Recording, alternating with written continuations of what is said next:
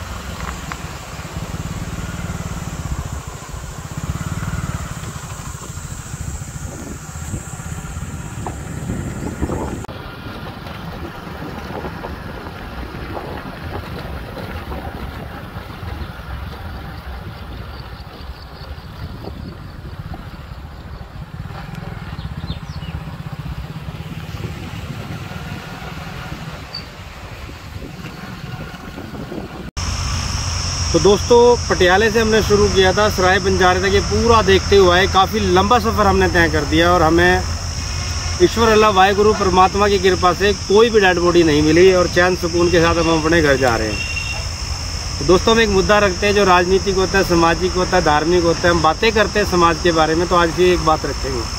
आज बात रखेंगे हम अपने पंजाब की। तो दोस्तों, पंजाब इतना खुशहाल क्यों है? पंजाब के अंदर अकाल क्यों नहीं पड़ता? भुखमरी क्यों नहीं छाती? पैसे की कमी क्यों नहीं आती? पंजाब हमेशा खुशहाल क्यों है? उसका एक रीज़न है, आज मैं उस रीज़न को साझा करूँगा। आज पंजाब पूरी दुनिया के अंदर फैला पड़ा। पंजाब हमेशा हर चीज़ में नंबर वन आ रहा है। पंजाबी जो लोग हैं, पूरी दुनिया के अंदर फैल चुके हैं और अच्छा कारोबार कर रहे हैं बिज़नेस कर रहे हैं। पंजाबी भीख नहीं माँगता। आप किसी सरदार को या पंजाबी को कहीं भीख मांगते हुए नहीं देखोगे। वो हमेशा मेहनत करके खाने वाली कौम है। तो वो क्यों है? उसका कारण है। तो उसका कारण क्या है? उनकी सेवा। जैसे पानी की सेवा, लंगर की सेवा, मेडिकल की सेवा, या उनको अदर सेवा कुछ भी मिल जाए, किसी की मदद करने की सेवा मिले, या किसी का घर बनाने की सेवा मिले, या कोई हेल्प करने की रोड से उठाना है, कुछ भी कोई भी उनको सेवा मिलती है, उस सेवा को पूरी ईमानदारी के साथ निभाते हैं, और उसके अंदर जितना भी पैसा या रकम लगती है, अपनी जेब से लगाते हैं वो लोग। पीछे नहीं हटते। वो ये नहीं सोचते कि इसके अंदर दस रुपये लगेंगे या दस लाख लगेंगे। दस लाख लगेंगे, दस करोड़ लगेंगे। पंजाबी कभी इस चीज़ से पीछे नहीं हटता। पंजाबियों ने आज हमारे भारत देश में पूरी दुनिया के अंदर नाम कमा रखा है। बड़े बड़े एम्स बना रखे हैं बड़े बड़े कॉलेज बना रखे हैं बड़ी बड़ी संस्थाएँ एन हैं, जो खाना खुला रही हैं। चौबीस घंटे लंगर चलता है। एक मिनट के लिए इनका लंगर बंद नहीं होता। तो इनके ऊपर जो कृपा है, उस ईश्वर वाहिगुरु परमात्मा की कृपा है, क्योंकि ये लोग हमेशा दान के अंदर बिलीव रखते हैं।